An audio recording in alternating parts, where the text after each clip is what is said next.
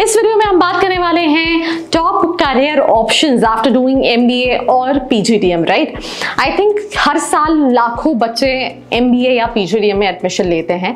हम एमबीए कई बार किसी भी कोर्स के बाद कर सकते हैं, भले आपने बीएससी किया हो बीए किया हो बीकॉम किया हो इंजीनियरिंग किया हो डिज़ाइनिंग किया हो।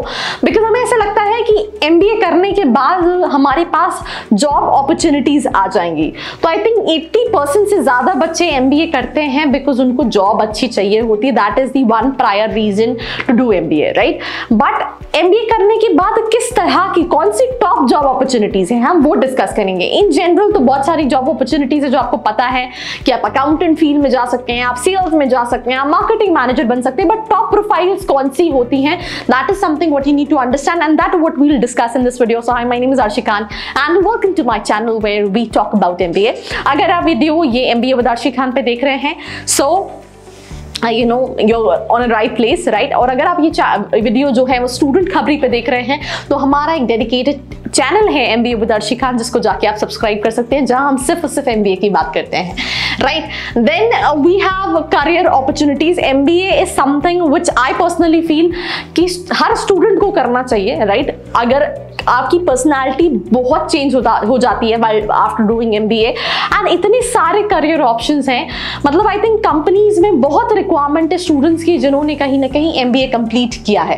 जिसमें सबसे पहला करियर ऑप्शन है that is banking in finance right finance में आज से आने पाँच साल के अंदर बहुत सारी जॉब अपॉर्चुनिटीज़ आने वाली हैं राइट बहुत बड़ी इंडस्ट्री है बैंकिंग की राइट फाइनेंस की और उन सभी में कहीं ना कहीं एमबीए की रिक्वायरमेंट रहती है। ऐसे students either they freshers either either we talk about soft bank either we talk about IDFC HDFC you name it and her bank में, हर बैंक जो है, वो कहीं ना कहीं एमबीए ग्रेजुएट्स को हायर करते हैं।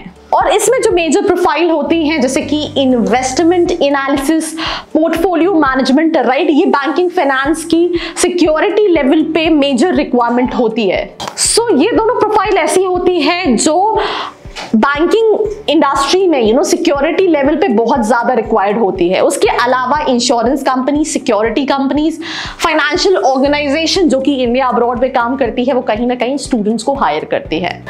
बाकी उसके अलावा प्राइवेट गवर्नमेंट बैंक पे सभी तरह की अपॉर्चुनिटीज़ रहती है। Second is investment banking right आपने आजकल बहुत सुना होगा स्टॉक मार्केट राइट इन्वेस्टमेंट एक बहुत बड़ा चंक पैन इंडिया ऐसा है, जो investment banking specially companies so if you think that you have the right kind of judgement in terms of कि पैसे को कहाँ इन्वेस्टमेंट करना चाहिए, उससे कैसे एक अच्छा रिटर्न निकल सकता है then in that case this is something which is among the demand then third we have management consulting इसको फ़र्स्ट पे होना चाहिए था because this is I think the dream job of every single student जो अपना MBA complete करता है. Consulting is something कि मैंने तुम्हें गाइड कर दिया और उस गाइड का तुम मुझे पैसा दे रहे हो राइट right? मैंने, वो गाइड ऐसा भी हो सकता है कि यार, मैं एक छोटी सी चीज़ आपको एग्ज़ाम्पल के तौर पर बताती हूँ राइट बी एमडब्ल्यू का जो चेन्नई में प्लांट है right they have this thing कि वो, उनकी गाड़ियाँ जो हैं, वो पूरी रीअरेंज मतलब असाइन होने के बाद उसमें दोबारा से काम आ जाता है राइट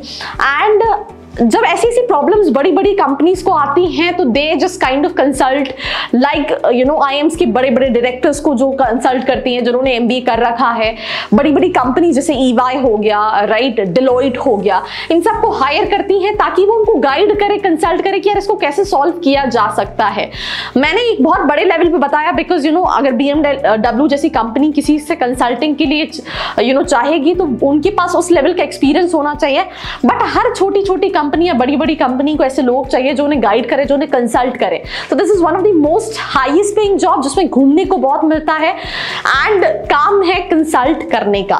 Right right? जैसे कि फॉर एग्ज़ाम्पल हम भी यहाँ कंसल्ट ही कर रहे हैं तो I mean consulting is something which has lots and lots of opportunities right जैसे आपको एज अ स्टूडेंट बहुत सारे सवाल होते हैं, वैसे कंपनीज़ को भी सेम तरह के सवाल होते हैं, उनके प्रोसेस पे, उनके ऑपरेशन पे, उनकी इन्वेस्टमेंट्स पे, बहुत सारी चीज़ें। तो यार, अगर आपको भी कंसल्ट करना है तो नीचे जो प्रोफ़ाइल एनालिसिस फॉर्म दिया है, उसको फिल करके डिटेल्स ले सकते हो, और आपने देखा कि मैंने कितने सही पॉइंट पे आई सेड दिस थिंग तो with this moving to the next career option that is entrepreneurship मतलब I this have personal feeling after being an entrepreneur from last six years कि आप छः साल किसी कंपनी के लिए काम करोगे लत से आप हो सकता है कि पचास लाख, साठ लाख सत्तर लाख का पैकेज कमाओ।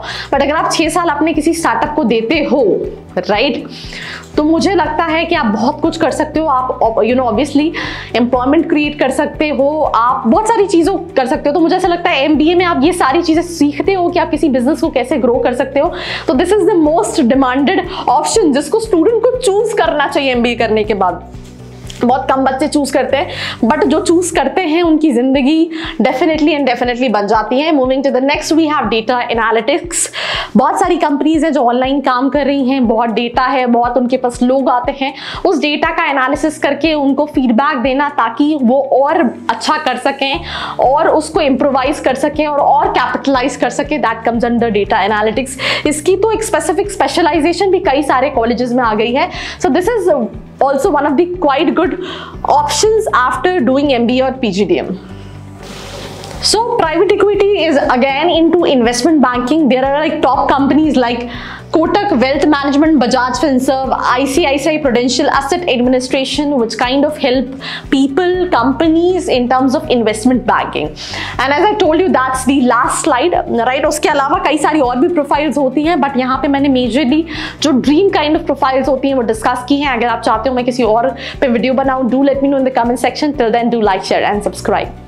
I hope you liked this video. For more such videos, keep watching our channel. And do not forget to like, share and subscribe.